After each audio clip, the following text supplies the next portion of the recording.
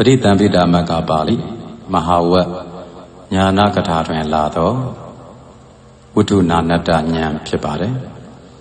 အရှင်သာရိပုတ္တရာမထေရကိုရောမြတ်ကဒီပရိသံပိတာမတ်မှာဉာဏ်တွေအကြောင်းကိုဟောကြားထားတဲ့နေရာမှာ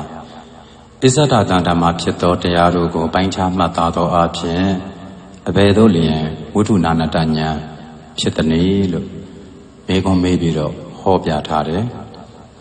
အတွင်းအစ္ဆဒတန်တာမှာမျက်စိကိုလည်းပိုင်းခြားမှတ်သားတယ်နားကိုလည်းပိုင်းခြားမှတ်သားတယ်နှာခေါင်းကိုလည်းပိုင်းခြားမှတ်သားတယ်ရှားကိုလည်းပိုင်းခြားမှတ်သားတယ်ကိုယ်ကိုလည်းပိုင်းခြားမှတ်သားတယ်စိတ်ကိုလည်းပိုင်းခြားမှတ်သားတယ်အဲဒီလိုပိုင်းခြားမှတ်သားနေတဲ့နေရာမှာဒီမျက်စိကိုဘယ်လိုပိုင်းခြားမှတ်သားတယ်လဲဆိုတော့မျက်စိသည်အဝိဇ္ဇာကြောင့်ဖြစ်တယ်လို့ပိုင်းခြားမှတ်သားတယ်မျက်စိသည်တဏှာကြောင့်ဖြစ်တယ်လို့ပိုင်းခြားမှတ်သားတယ် အဲ့ဒီအဝိဇ္ဇာနဲ့တဏှာကအတိတ်တုန်းကအကြောင်းအတိတ်တုန်းကအဝိဇ္ဇာနဲ့တဏှာကဥပထံပကတတိဖြင့်ခြေစုပြုထောက်ပံ့ပေးပြီးတော့အကြောင်းဖြစ်ကြတယ်အဲ့တော့မျက်စိတွေကံအကြောင်းဖြစ်တယ်အဲ့ဒီကံကလည်းအတိတ်ကကံသူကကြတော့စနကတတိနဲ့ခြေစုပြုတယ်ဖြစ်စေသောတတိဖြင့်ခြေစုပြုတယ်နောက်တစ်ခါအဲ့ဒီမျက်စိသည်ကပလီကာရအာဟာရကြောင့်ဖြစ်တယ်ပြစ္ဆုတ်ပံမှာအဲ့ဒါကြတော့ပြစ္ဆုတ်ပံ ကပလီကာရအာဟာရကဥပထမကတတ္တိနဲ့ယေရှုပြုတယ်။အဲဒီလိုအကြောင်းတရားတွေကိုဆင်ခြင်ပြီးတော့မျက်စိကိုပိုင်းခြားမှတ်သားတယ်။ဒီတော့မျက်စိဒီမျက်စိဟာဘာကြောင့်ဖြစ်တာလဲဆိုတဲ့သူ့ရဲ့ဖြစ်ကြောင်းအကြောင်းတရားကိုသိသွားတယ်။ပြီးတော့ဒီမျက်စိကဘယ်နေရာမှာဖြစ်တာလဲ။မျက်လုံးကြီးဖြစ်တဲ့သတံပါရစက္ခုမျက်စိအလုံးကြီးကိုပြောတာမဟုတ်ဘူး။အဲ့ဒီမျက်စိအလုံးကြီးမှာမှအစင်းကိုမြင်မြင်နိုင်တဲ့ အကြည်တက်ကလေးမျက်နှာဝန်းအလဲကောင်မှာရှိတဲ့မြင်တတ်တဲ့အကြည်တက်ကလေးအဲ့ဒီပတာရယုတ်ကလေးကိုပြောတာအဲ့တော့ဒီပတာရယုတ်စကုပတာရဟာမဟာဘုတ်၄ပါးတို့ကိုဆွဲပြီးတော့ဖြစ်တယ်သူတည်နေတဲ့နေရာကမဟာဘုတ်၄ပါးပဲပထဝီအာဘောဒေဇောဝါယောဆိုတဲ့ဓာတ်ကြီး၄ပါးနဲ့ဖွဲ့စည်းထားသောဒီမျက်စိအလုံးကြီးရဲ့အလဲကောင်လေးမှာမျက်နှာဝန်းလေးအလဲမှာရှိနေတယ်ဒါကြောင့် မဟာဘုတ်၄ပါးကိုဆွဲပြီးတော့ဖြစ်တယ်အဲ့ဒီလိုပိုင်းခြားမှတ်သားတော့ကိုယ်တန်တန်မှာရုပ်ကိုရုပ်ကြာကြာနာနာမြင်လာတာပေါ့ဖြစ်ကြောင်းတရားကိုလည်းသိတယ်ဖြစ်တဲ့နေရာကိုလည်းသိတယ်အဲ့တော့သူဒီရုပ်ဆိုတာကိုလည်းသိတယ်သိပြီးတဲ့အခါဒီမျက်စိရဲ့ပြစ္ဆုတ်ပံတက်တဲ့အထာပြစ္ဆုတ်ပံတန်တတိပြစ္ဆုတ်ပံခဏပြစ္ဆုတ်ပံဆိုတဲ့ပြစ္ဆုတ်ပံ၃ပါးနဲ့ဆင်ခြင်မိတယ်အစင်းကိုအာယုံပြုတဲ့အချိန်မှာပဲဖြစ်တဲ့ မြင်တတ်တဲ့သကုပတာရာကိုရှုတာအတိတ်ကသကုပတာရာကိုရှုတာလည်းမဟုတ်ဘူးအနာဂတ်မှာဖြစ်မဲ့သကုပတာရာကိုရှုတာလည်းမဟုတ်အခုအစင်းကိုမြင်နေတဲ့အခုအစင်းကိုအာယုံပြုတ်နေတဲ့အချိန်မှာဖြစ်တော့မျက်စိအခြေတက်ကလေးအဲ့တော့သူကဥပအခိုက်ဖြစ်နေအဲ့ဒီဥပအခိုက်ဖြစ်တဲ့အတွက်ကြောင့်ဒီမျက်စိဟာအတ္တပစ္စုပန်တန်တတိပစ္စုပန်ခဏပစ္စုပန်အားဖြင့်ဖြစ်စေဖြစ်နေတယ်လို့ပိုင်းခြားမှတ်တာတယ် ဒါအဖြစ်ကိုမြင်တဲ့အပိုင်း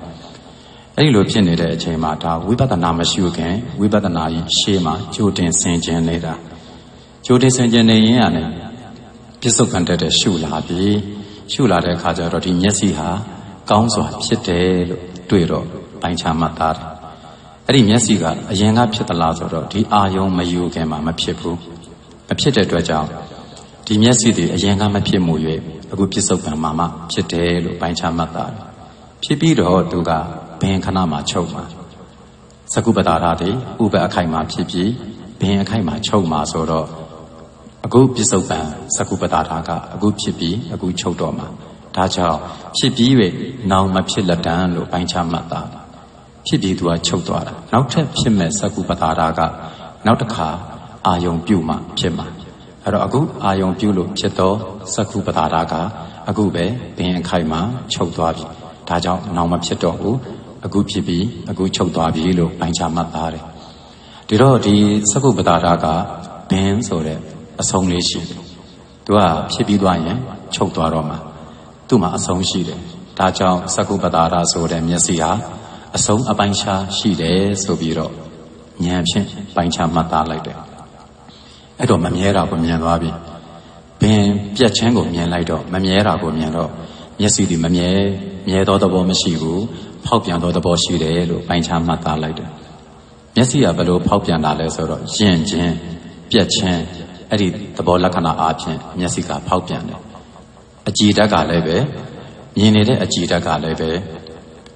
ကြည်နေတုန်းလည်းပျက်စီးသွားနိုင်တယ်မကြည်ခင်မှလည်းပျက်စီးသွားနိုင်တယ်ဒါကြောင့်သူ့မှာဖောက်ပြန်တဲ့သဘောရှိတယ် ဒါကြောင့်မျက်စိသည်ဖောက်ပြန်သောသဘောရှိတယ်လို့ပိုင်ချမှတ်သားပေးတယ်ဒီတော့မျက်စိကမမြဲတာကိုတွေ့လိုက်တဲ့အခါဥပတ်အခိုက်ပင်အခိုက်ကိုဆင်ခြင်ပြီးတော့တွေ့သွားတဲ့အခါမှာမျက်စိသည်သူ့မှာမြဲတဲ့နှိစ္စသဘောမရှိဘူးဒီမျက်စိဟာပြုတ်ပြင်အပ်သောသဘောရှိတယ်အပြုတ်ပြင်ခံသဘောပဲအကြောင်းကိုစွဲပြီးမှဖြစ်တဲ့တရားပဲအကြောင်းတွေလည်းဆင်ခြင်ခဲ့ပြီးပြီဆိုတော့ မျက်စိဟာအကြောင်းကိုစွဲပြီးမှဖြစ်တဲ့တရားပြီးတော့ကုံခြင်းသဘောရှိတယ်ပြက်ခြင်းသဘောရှိတယ်ကင်းခြင်းသဘောရှိတယ်ချုပ်ခြင်းသဘောရှိတယ်ဆိုပြီးပိုင်ချမှတ်သားတာဟာအတွင်းအစ္ဆတတန်တာမှာရှိတဲ့မျက်စိ၌ပိုင်ချမှတ်သားခြင်းဖြစ်တယ်အဲဒီလိုနဲ့မမြဲခြင်းကိုဆင်ခြင်လာပြီဒီသက္ကုပတာအကြည်တက်ကလေးကိုအနိစ္စအပြင်ပိုင်ချမှတ်သားတယ်နိစ္စအပြင်အမှတ်ဘူးဒုက္ခအပြင်ပိုင်ချမှတ်သားတယ်ဒုက္ခအပြင်မဟုတ်ဘူး အနတ္တအပြင်ပိုင်ချမှတ်သားတယ်အတ္တအပြင်မဟုတ်ဘူးသူကိုဝိပဿနာရှုနေပြီသကုပတာထရုပ်တည်မမြဲဘူးဆင်းရဲတယ်အစိုးမရဘူးအဖန်ဖန်ပွားနေပြီအဲ့တော့အာယုံပြုလိုက်တိုင်းဖြစ်ပြီးတော့ချုပ်သွားတယ်အစင်းကိုအာယုံပြုလိုက်တိုင်းဖြစ်ပြီးတော့ချုပ်သွားတယ်မြင်ပြီးတိုင်းဖြစ်ပြီးတော့ချုပ်သွားတယ်အဲ့တော့ဒီသကုပတာထမျက်စိအကြည့်တတ်ဟာမမြဲဘူးဆင်းရဲတယ်အစိုးမရဘူးလို့ အဖန်ဖန်ရှုလာတဲ့အခါကျတော့ဩသကုပတာရကအကြောင်းကိုဆွဲရဖြစ်တဲ့တရားပဲမဟာဘုတ်၄ပါးကိုဆွဲပြီးတော့ဖြစ်တဲ့တရားပဲဖြစ်ပြီးရင်ပြတ်တယ်ဒါကြောင့်ယုတ်တရားတတ်တတ်ဖြစ်ပြီးတော့မမြဲဆင်းရဲဖောက်ပြန်တော့တရားသာဖြစ်တယ်ဆိုပြီးတော့မဆွဲလန်းတော့ဘူးညင်းငွေသွားတယ်ညင်းငွေသွားတဲ့အတွက်ကြောင့်မနစ်တတ်တော့ဘူးတက်နှစ်တတ်ခြင်းကင်းသွားတယ်မတက်နှစ်တတ်တော့ဘူးချုပ်စေတယ်မဖြစ်စေတော့ဘူး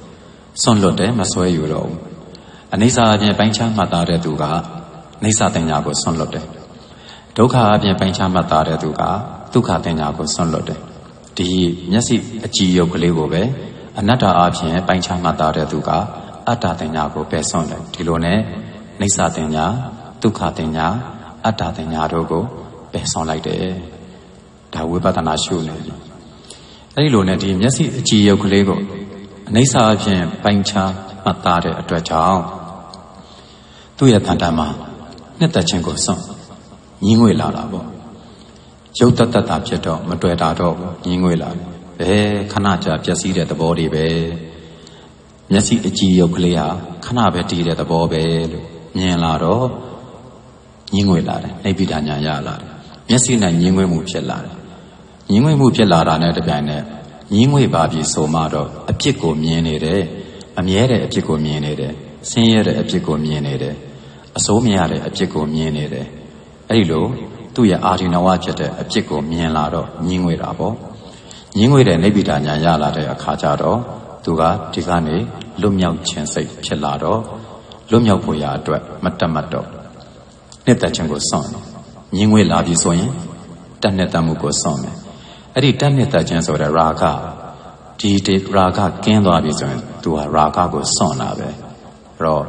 ရာဂကိုစွန့်တဲ့အတွက်ကြောင့်ရာဂတွေချုပ်သွားတယ်အဲ့တော့ဒီလိုချုပ်စေတဲ့သူကရာဂကိုဖြစ်ပေါ်စေခြင်းကိုလည်းစွန့်တော့တယ်အဲ့တော့ရာဂဖြစ်ပေါ်ခြင်းကိုစွန့်လိုက်တဲ့သူကဥပါဒာနဲ့ဆွဲယူခြင်းငါမျက်စိငါငါဥစ္စာလို့ဆွဲယူတဲ့ဆွဲယူခြင်းကိုလည်းစွန့်လွတ်တော့တယ်လွတ်မြောက်တယ်အဲ့ဒါ အတွင်းအစ္ဆတိကယရဏဖြစ်တဲ့သကုပတာတာတစ်ခုမှတင်ဆင်ခြင်ရင်းဖြင့်ဉာဏ်တွေအစဉ်စဉ်တက်ပြီးတော့ဝိထုနာနတဉာဏ်ကိုရရှိခြင်းအကြောင်းအရှင်သာရိပုတ္တရာမထေရကိုတော်မြတ်ဟောကြားတော်မူခြင်းဖြစ်တယ်။အဲဒီလိုပဲနားကိုဆင်ခြင်တယ်။နားဆိုတာသောတာပတ္တာဒီနရွယ်ကြီးကိုပြောတာမဟုတ်ဘူး။အတွင်းထဲကအတန်ကိုလက်ခံပြီးတော့ကြားနိုင်တဲ့နားအကြည့်တက်ဒါကိုသောတာပတ္တာလို့ခေါ်တယ်။ အဲ့ဒီသောတာပတ္တာရုပ်ကလေးကလည်းအတိတ်ကဖြစ်တဲ့အဝိဇ္ဇာတဏှာဆိုတဲ့အကြောင်းတရားတို့ကြောင့်ဖြစ်တာအဲ့ဒီအကြောင်းတရားနှစ်ပါးကအတိတ်ကနေပြီးဥပ္ပထံပကတတ္တိနဲ့ကျေစုပြုလိုက်ပြီးတော့အကြောင်းဖြစ်တယ်အဝိဇ္ဇာကြောင့်ဖြစ်တယ်တဏှာကြောင့်ဖြစ်တယ်ဒီနာအจิตတကလေးကကံအကြောင်းဖြစ်တယ်အဲ့ဒီကံကလည်းအတိတ်ကကံသူကဒီနာအကြည်တက်ကိုဖြစ်စေတဲ့ဇနကတတ္တိနဲ့ကျေစုပြုတယ် နောက်ဒီနာအကြည်တက်ဆိုတဲ့သောတာပတ္တာယုတ်ကလေးကအာဟာရကြောင့်ဖြစ်တယ်ကပလီကာရအာဟာရကြောင့်အဲ့ဒါပြစ္ဆုတ်ပံအကြောင်းပြစ္ဆုတ်ပံအကြောင်းဖြစ်တဲ့ကပလီကာရအာဟာရကကြတော့ဥပဋ္ဌမကတတ္တိနဲ့ကျေစုပြုတယ်ပြီးတော့ဒီနာအကြည်တက်ကလေးကဘယ်မှာဖြစ်တာလဲဓာတ်ကြီး၄ပါးပေါ်မှာမဟာဘုတ်၄ပါးမှာဆွဲပြီးတော့ဖြစ်တယ်အဲ့တော့ဖြစ်တဲ့နေရာသိတယ်ဖြစ်ကြောင်းတရားကိုသိတယ်အဲ့ဒါဝိပဿနာမရှိခင်မှာပိုင်းခြားမှတ်သားနေတာ အဲ့လိုနဲ့ပြစ္ဆုတ်ပံအခိုက်အတန်ကိုအာယုံပြုတဲ့အခိုက်နှလုံးသွင်းတဲ့အခိုက်မှာဖြစ်တဲ့နာအကြည်တက်ကလေးကိုအာယုံပြုလိုက်ပြီးတော့ဩဖြစ်နေတယ်သူကိုအထာပြစ္ဆုတ်ပံတတတိပစ္စုပန်ခဏပစ္စုပန်အားဖြင့်နားဒီအခုကြားတဲ့အချိန်လေးမှာသောတာပတ္တာဖြစ်ပြီလို့အဲ့ဒီလိုဖြစ်စဲကိုပိုင်းခြားမှတ်သားတယ်အတန်ကိုကြားတဲ့အချိန်လေးမှာပဲသောတာပတ္တာဖြစ်တာဖြစ်ပြီးတဲ့အခါကျတော့ သူသည်ဒီပစ္စုပန်၃မျိုးနဲ့ကောင်းစွာဖြစ်တယ်လို့ပိုင်းခြားမှတ်သားလိုက်တယ်အဖြစ်ကိုမြင်လိုက်တယ်အဲ့တော့ဒီအတန်ကိုကြားခိုက်ကလေးမှာဒါအဲ့အခိုက်ကလေးမှာပဲဖြစ်တဲ့အတွက်ကြောင့်သူ့မှာဘင်ခဏရှိတယ်ဒီအတန်ကိုဆက်အာယုံမပြုမပြုလို့ရှိရင်ဒီအကြည်ဓာတ်ကအချုပ်သွားပြီအဲ့တော့ပထမအတန်တစ်လုံးကိုအာယုံပြုလိုက်တော့အဲ့အတန်တစ်လုံးမှာပဲလက်ဖြစ်တဲ့တို့ကာလာလေးအတွင်းမှာကြားသွားတဲ့ အတန်ကိုလက်ခံလိုက်တဲ့သောတာပတ္တာယုတ်ကဥပ္ပနဲ့ဖြစ်ပြီးတော့ဘယ်မှာပြတ်သွားရောပြတ်သွားတဲ့အတွက်ကြောင့်သူကအရင်ကမဖြစ်ခဲ့အခုအာယုံပြုတော့မှဖြစ်တာပြစ္ဆုတ်ပံအခိုက်တဲတဲမှာပဲဖြစ်တယ်ဒါကြောင့်မလို့အရင်ကမဖြစ်ပဲအခုမှဖြစ်တယ်လို့ပိုင်းခြားမှတ်သားပြီးတော့သိတယ်ဖြစ်ပြီးသွားတဲ့ဥစ္စာကလည်းဒီအတန်လေးတစ်ချက်လောက်ကလေးကိုအာယုံပြုတဲ့အချိန်မှာဘင်ခိုက်မှာပြတ်သွားတဲ့အတွက်ကြောင့်သူကပြတ်ပြီးသွားတဲ့အခါနောက်မဖြစ်တော့ဘူး အခုဖြစ်ပြီးသွားတဲ့နောက်နောက်မဖြစ်တော့ဘူးလို့သူ့အဆုံးကိုမြင်လိုက်တဲ့အတွက်ကြောင့်မလို့အဲ့ဒီလိုပိုင်းခြားမှတ်သားတယ်အဲ့ဒီမှာသူဝိပဿနာရှုနေပြီကြားတယ်ကြားတယ်ကြားတယ်လို့ရှုတိုင်းမှာဒီသောတာပတ္တာယုတ်ကလည်းဖြစ်လိုက်ပြက်လိုက်ဖြစ်လိုက်ပြက်လိုက်ဖြစ်လိုက်ပြက်လိုက်နဲ့သွားတာကိုသူစင်ကျင်မိတယ်ဒီတော့သူ့မှာအဆုံးအပိုင်းခြားရှိတယ်ကြားတယ်လို့တစ်ချက်မှတ်လိုက်တာနဲ့သူကပြက်သွားတာသောတာပတ္တာယုတ်က ဒီတော့ဘင်ဆိုတဲ့အပိုင်းခြားရှိတဲ့အတွက်ကြောင့်မျက်စိဟာဒီနာဘင်ဆိုတဲ့အပိုင်းခြားရှိတဲ့အတွက်ကြောင့်ဒီနာလေးဟာသောတာပတ္တာလေးဟာအဆုံးအပိုင်းခြားရှိတယ်လို့ပိုင်းခြားမှတ်သားလိုက်တယ်အဲ့ဒီသောတာပတ္တာလေးကသူ့ရဲ့ဥပ္ပနဲ့သူ့ရဲ့ဘင်ကိုကြားတယ်လို့မှတ်လိုက်ခြင်းအပြင်အဲ့ဒီအခိုက်မှာပဲဘင်အခိုက်မှာပြတ်သွားတယ်ဆိုတော့မမြဲခြင်းကိုမြင်လိုက်တဲ့အတွက်ကြောင့်နားသည်မမြဲလို့ ပိုင်းခြားမှတ်သားတယ်မြဲသောသဘောမရှိဘူးဖောက်ပြန်သောသဘောရှိတယ်လို့ပိုင်းခြားမှတ်သားတယ်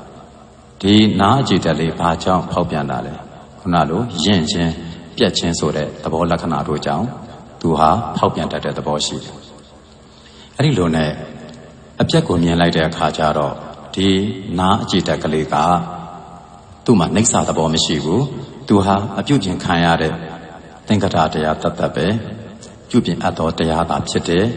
အကြောင်းကိုဆွဲပြီးမှဖြစ်သောတရားသာဖြစ်တယ်လို့ပိုင်းခြားမှတ်သားတယ်ဆင်ခြင်တယ်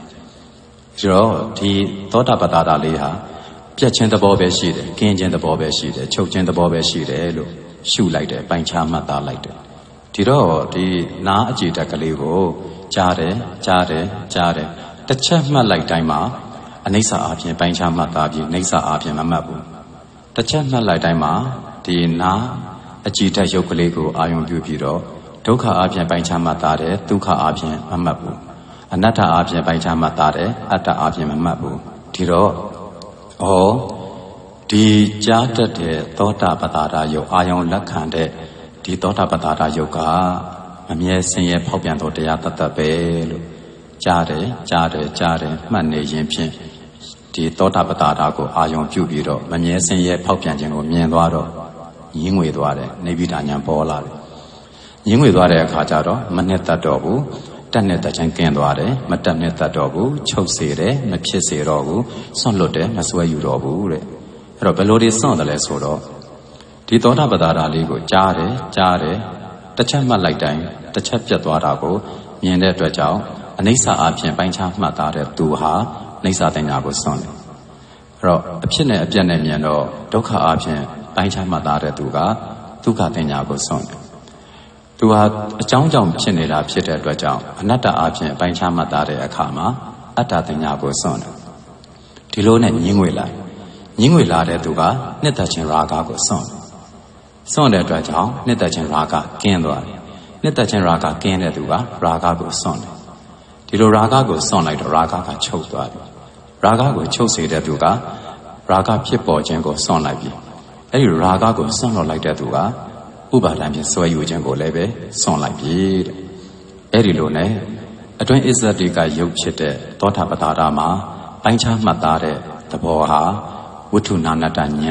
မြည်ပါတယ်လို့အရှင်သာရိပုတ္တရာမထေရကိုရောမြတ်ဟောကြားထားတယ်အဲ့ဒီလိုပဲနှာခေါင်းနဲ့ရှာနဲ့ကိုယ်နဲ့မှာရုပ်တည်ဖြစ်တဲ့အတွက်ကြောင့်အတူတူပဲနှာခေါင်းကလည်းအနံ့ကိုရတဲ့အခိုက်နံတယ်နံတယ်နံတယ်လို့ ရှုလိုက်တိုင်းရှုလိုက်တိုင်းမှာသူ့ရဲ့ခန္ဓာပတာရယုတ်ကလေးရဲ့အဖြစ်နဲ့အပျက်ကိုမြင်ရတယ်ရှာမှလည်းအရသာကလေးကိုသိတဲ့အချိန်လောက်ကလေးပဲအချိုဖြစ်ဖြစ်အငံဖြစ်ဖြစ်အရသာရတဲ့အချိန်လောက်ကလေးပဲအဲ့ဒီအချိန်လေးမှာပဲသူကဖြစ်ပြီးတော့ပြတ်တာစိန်ဝပတာရက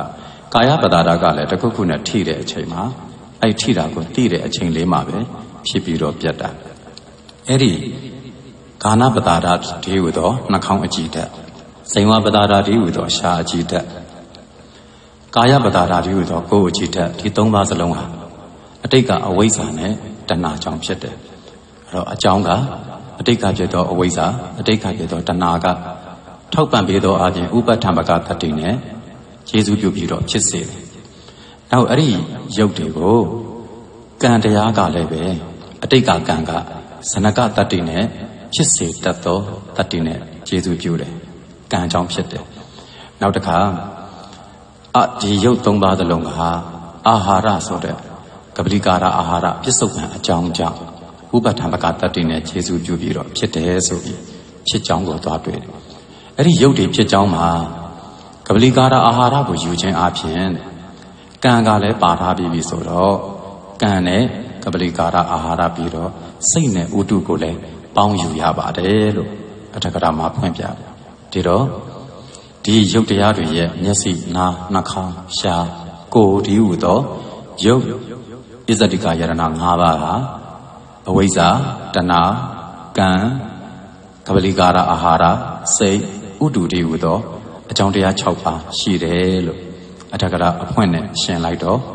အဲ့ဒီလိုပိုင်းခြားမှတ်သားတယ်အကြောင်းကြောင့်ဖြစ်တယ်နောက်ဒီ ခန္ဓာပတာရဆိုတဲ့နှာခေါင်းအကြည့်ဓာတ်ကောစိန်ဝပတာရဆိုတဲ့ရှားအကြည့်ဓာတ်ကောကာယပတာရဆိုတဲ့ကိုယ်အကြည့်ဓာတ်ကောဟာဘယ်မှာတည်တယ်လဲဆိုတော့မဟာဘုတ်၄ပါးကိုစွဲပြီးတော့တည်တယ်အဲ့တော့သူတို့ရဲ့ဖြစ်တရားနေရာကိုလည်းရုပ်ပဲလို့ကြာကြာနာနာတွေ့ပါပြီးတော့အာယုံပြုတဲ့အချိန်လေးမှာပဲနန်းတယ်နန်းတယ်နန်းတယ်အရသာဆိုလို့ရှိရင်လည်းအရသာသိတယ်အရသာသိတယ်ချိုးတယ်ချိုးတယ်စသည်ဖြင့်အရသာသိခြင်းမှတ်ခြင်း ကိုယ်မှာဆိုရင်လည်းထိတယ်ထိတယ်အဲ့ဒီလိုမှတ်ခြင်းအဲ့ဒီမှတ်ခြင်းကလေးပြစ္ဆုတ်ပံတက်တယ်မှာဖြစ်တော့အထာပစ္စုပန်တန်တတိပစ္စုပန်ခဏပစ္စုပန်တို့အားဖြင့်သိတဲ့အချိန်လေးမှာဖြစ်တဲ့ပစ္စုပန်တက်တဲ့ကာဏပတာရစိန်ဝပတာရကာယပတာရတို့ကိုတွေးလိုက်တော့ဩဒီနာနှာခေါင်းရှာကိုဆိုတဲ့ရုပ်တရားဖြစ်စေလို့ပိုင်းခြားမှသားလိုက်တယ်အဖြစ်ကိုမြင်သွားတယ် ပြီးတော့အဲ့ဒီသုံးပါးသောပစ္စုပန်တို့၏အားဖြင့်ဆင်ခြင်၍ကောင်းစွာဖြစ်ပြီလို့ပိုင်းခြားမှတ်သားပြီးအဖြစ်ကိုမြင်သွားတယ်အဖြစ်ကိုမြင်သွားပြီးတော့ဒါတွေကအရင်ကဖြစ်သလားဆိုတော့အာယုံမပြုတ်သမျှမတိသမျှကာလပတ်လုံးဖြစ်သေးတာမဟုတ်ဘူးအာယုံပြုတ်လိုက်ပြီးတည်တော့မှအဲ့ဒီမှာဖြစ်တာအဲ့ဒီအချိန်မှာပဲပြစ္ဆုတ်ပံတဲ့တဲ့မှာပဲဖြစ်တော့ဒီကာဏပတာရာစိန်ဝပတာရာကာယပတာရာတို့သည် အရင်ကမဖြစ်မှု၍အခုမှဖြစ်တယ်လို့ပိုင်းခြားမှတ်တာဖြစ်ပြီးရင်လည်းဘင်အခိုက်မှာမှတ်ပြီးသိပြီးချုပ်သွားတဲ့အတွက်ကြောင့်သူကနောက်မဖြစ်တော့ဘူးလို့ဖြစ်ပြီးတဲ့ပတာရယုတ်ကချုပ်သွားပြီနောက်ဖြစ်တာကနောက်အာယုံပြုလို့ဖြစ်တော့အသက်အခုအဟောင်းကချုပ်သွားပြီနောက်မဖြစ်တော့ဘူးပြီးသွားပြီလို့သိတယ်အဲ့ဒီလိုနဲ့နှာခေါင်းအကြည့်တက်ရှားအကြည့်တက်ကိုယ်အကြည့်တက်တို့မှာဘင်ခိုက်ကလေးကိုသွားတွေ့တော့ အတိဆုံးတာနဲ့သူလည်းပဲချုပ်သွားတာဘင်ခိုက်ကလေးကိုသွားတွေ့တဲ့အတွက်ကြောင့်မလို့အဆုံးရှိတယ်အဆုံးအပိုင်းခြားရှိတယ်ကာဏပတာရသည်ဘင်ဒီဟုသောပြက်ချင်းအခိုက်အတန့်ဖြင့်အဆုံးအပိုင်းခြားရှိတယ်ဇိမ်ဝပတာရသည်ဘင်ဒီဟုသောပြက်ချင်းအခိုက်အတန့်အားဖြင့်အဆုံးအပိုင်းခြားရှိတယ်ကာယပတာရသည်လည်းဘင်ဒီဟုသောအဆုံးအပိုင်းခြားရှိတယ်အဲ့ဒီလိုအဆုံးအပိုင်းအခြားရှိတာကိုမြင်သွားတော့မမြဲလို့ ကြာကြာနာနာမြင်လိုက်တယ်အမှဝိပဿနာရှုပြီးဒီနှာခေါင်းအကြည်တက်ရှားအကြည်တက်ကိုယ်အကြည်တက်ကမမြဲဘူးမြဲသောသဘောမရှိဘူးဖောက်ပြန်သောသဘောရှိတယ်သူတို့ကယဉ်ချင်းပြက်ချင်းလက္ခဏာတို့ကြောင့်ဖောက်ပြန်ခြင်းလက္ခဏာရှိတယ်လို့ပိုင်းခြားမှတ်သားတယ်အဲ့တော့ဒီနှာခေါင်းရှားကိုယ်ရုပ်တွေဟာသူတို့မှာနှိစ္စသဘောမရှိဘူးသူတို့ဟာပြုပြင်အပ်တဲ့ပြုပြင်ခံရတဲ့ သင်္ကတတရားတွေအကြောင်းကိုဆွဲရဖြစ်သောတရားများသာဖြစ်တဲ့ပြည့်ချင်းသဘောသာရှိတယ်ကင်းခြင်းသဘောသာရှိတယ်ချုပ်ခြင်းသဘောသာရှိတယ်လို့ပိုင်းခြားမှတ်ပါတယ်ဒီတော့ဒီကာဏပတာဒဇိမ်ဝပတာဒကာယပတာဒတို့မှာဥပတ်နဲ့ဘင်းနဲ့အဖြစ်နဲ့အပြက်နဲ့မြင်တော့အနိစ္စအပြင်ပိုင်းခြားတဲ့အတွက်အနိစ္စအပြင်မမှတ်တော့ဘူးဒုက္ခအပြင်ပိုင်းခြားမှတ်သားတဲ့အတွက်ကြောင့်ဒုက္ခအပြင်မမှတ်ဘူး အနတ္တအပြင်ပိုင်းခြားမှတ်သားတဲ့အတွက်ကြောင့်အတ္တအပြင်မမှတ်ဘူးအဲ့လိုမမြဲပါလားဆင်းရဲတယ်အဆိုးမရဘူးနန်းတယ်နန်းတယ်နန်းတယ်တစ်ချက်မှတ်တိုင်းတစ်ချက်ချုပ်တယ်လို့သိရတယ်အဲ့တော့ပြစ္ဆုတ်ပံမှာဖြစ်တဲ့ဒီပတာတာယုတ်တွေဟာချုပ်ချုပ်သွားတဲ့အတွက်ကြောင့်မမြဲဘူးဆင်းရဲတယ်အဆိုးမရဘူးအမြဲတမ်းမြင်နေတဲ့တိပေးသောအဖြစ်မမြဲတာတွေကိုထက်ခါထက်ခါမြင်လာတော့နေပိတညာပေါ်လာတယ်ညီငွေတယ် အဲ့လိုညီငွေလာပြီဆိုလို့ရှိရင်မနှစ်သက်တော့ဘူးတနှစ်သက်ချင်းกินသွားတယ်မတနှစ်သက်ဘူးချုပ်စေတယ်မဖြစ်စေတော့ဘူးဆွန့်လွတ်တယ်မဆွဲယူတော့ဘူးဘာတွေကိုဆွန့်လွတ်လဲအမြဲဘူးလို့နန်တယ်နန်တယ်အရာတာတည်တယ်အရာတာတည်တယ်နောက်တခါထိတယ်ထိတယ်မှတ်တိုင်းချုပ်မှတ်တိုင်းချုပ်တာကိုမြင်တော့မမြဲသောအားဖြင့်ပိုင်းခြားမှတ်သားတဲ့အတွက်ကြောင့်မြဲတယ်ဆိုတာနေစာတင်ညာကိုစွန့် ဆင်းရဲသောအားဖြင့်ပိုင်းခြားမှတ်သားတဲ့အတွက်ကြောင့်ဒုက္ခတင်ညာကိုစွန့်တယ်အနတ္တအားဖြင့်ပိုင်းခြားမှတ်သားတဲ့အတွက်ကြောင့်အတ္တတင်ညာကိုစွန့်တယ်ဒီတော့ညင်းငွေတယ်ညင်းငွေတဲ့သူကနှစ်သက်ခြင်းရာဂကိုစွန့်တယ်ဒီတော့ရာဂကင်းသွားတယ်ရာဂဒီဟူသောတတ်နှစ်သက်ခြင်းကင်းသွားတဲ့သူကဒီရာဂကိုစွန့်ရာဂကိုစွန့်လိုက်တော့ရာဂကချုပ်သွားရာဂကိုချုပ်စေတဲ့သူကရာဂကိုမဖြစ်စေတော့ဘူးအဲ့တော့ဖြစ်ပေါ်ခြင်းကိုစွန့်တယ် ဒီရာဂကိုစွန့်လွတ်လိုက်တဲ့သူဟာစွဲယူခြင်းကိုလည်းစွန့်လွတ်တယ်ငါဥစ္စာငါငါအတ္တဆိုတဲ့စွဲယူခြင်းကိုစွန့်လွတ်လိုက်တယ်လွတ်မြောက်တယ်အေးချမ်းတယ်အဲ့ဒီလိုနဲ့အတွင်းအစ္စတိကယရဏမှာယုတ်အာယရဏတွေကိုပွားများတဲ့အတွက်ပိုင်းခြားမှတ်သားတဲ့အတွက်ဝိထုနာနတ္တဉာဏ်ဖြစ်တယ်အဲ့ဒီလိုအရှင်သာရိပုတ္တရာမထေရကိုရောမြတ်ပရိသံပိဓမ္မမှာဟောပြထားတယ်နောက်တစ်ခုဖြစ်တဲ့စိတ် အတွင်းအစ္စတိကယရဏမှာနံတရားဖြစ်တဲ့စိတ်ရှိတယ်။အဲ့ဒီစိတ်ရဲ့အကြောင်းတရားကိုကြည့်တဲ့အခါစိတ်ရဲ့အကြောင်းတရားတွေကလည်းဒီတရားတွေပဲ။စိတ်ကအဝိဇ္ဇာကြောင့်ဖြစ်တယ်တဏှာကြောင့်ဖြစ်တယ်။အတိတ်အကြောင်းကဥပဋ္ဌမကတတ္တိနဲ့ကျေစုပြုပြီးတော့အကြောင်းဖြစ်တယ်။ဒီနောက်တစ်ခါအတိတ်ကကံကလည်းဇနကတတ္တိနဲ့ကျေစုပြုတယ်။နောက်တစ်ခါအာဟာရပြစ္ဆုတ်ပံမှာအာဟာရကသူ့ကိုဥပဋ္ဌမကတတ္တိနဲ့ကျေစုပြုတယ်စိတ်ကို အဲ့ဒီစိတ်ကအခုပြောတဲ့အစ္စတိကယရဏမှာရှိတဲ့စိတ်ကဘဝင်စိတ်ကိုပြောတာဘဝင်စိတ်ကိုယူရမယ်အဲ့ဒီဘဝင်စိတ်ကိုဒီပြစ္ဆုတ်ပံမှာအာဟာရကဖြစ်စေတယ်ဆိုတော့အဲ့ဒီအာဟာရကတော့ဖတ်တာဟာရနဲ့မနောတင်စေတနာဟာရပါတဲ့အဲ့ဒီအာဟာရကြောင့်ပြစ္ဆုတ်ပံမှာဘဝင်စိတ်ဖြစ်တယ်အဲ့ဒါအစ္စတိကယရဏမှာရှိတဲ့စိတ်အကြောင်းကိုသိသွားတယ်ပြီးတော့ဒီစိတ်ကဟရိယဝတ္ထုကိုမိပြီးတော့ဖြစ်တာ ဖြစ်တဲ့ဥစ္စာကိုလည်းသိတယ်ပြီးတော့ပြစ္ဆုတ်ပံအခိုက်ကလေးမှာပဲတွေးသိတယ်ကြံသိတယ်ပေါ့အဲအဲ့လိုပြစ္ဆုတ်ပံအခိုက်ကလေးမှာပဲဒီစိတ်ကလေးကိုပြစ္ဆုတ်ပံအခိုက်မှာဖြစ်တဲ့စိတ်ကိုပဲကိုကဆင်ကျင်ပြီးတဲ့အခါကျတော့သူ့မှာဖြစ်ဆဲတာဖြစ်တယ်အဲ့တော့စိတ်ရှိနေတာလေးကိုသိနေတဲ့အတွက်ကြောင့်ဖြစ်ဆဲတာဖြစ်တယ်ပြီးတော့ကောင်းစွာဖြစ်တယ်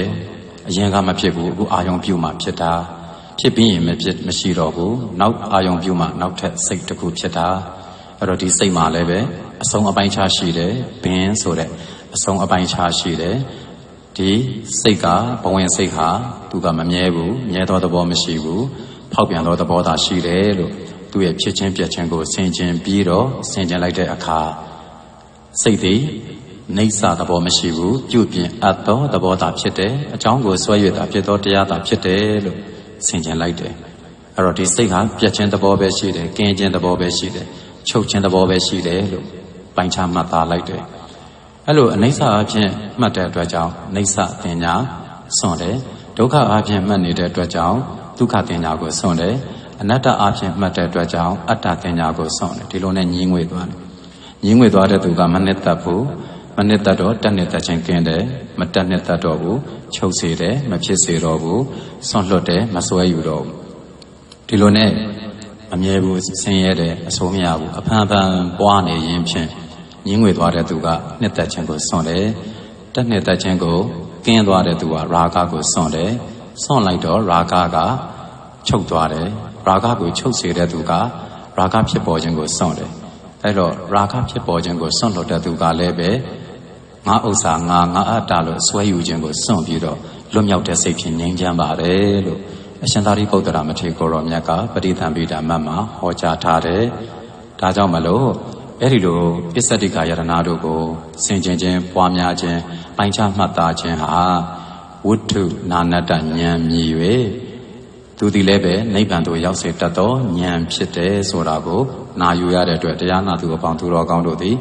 ဤကဲ့သို့မိမိရဲ့ကိုယ်ထဲမှာရှိသော မျက်စိ၊နား၊နှာခေါင်း၊ရှား၊ကိုယ်၊စိတ်တို့၌ဆင်ခြင်နိုင်ကြကုန်၍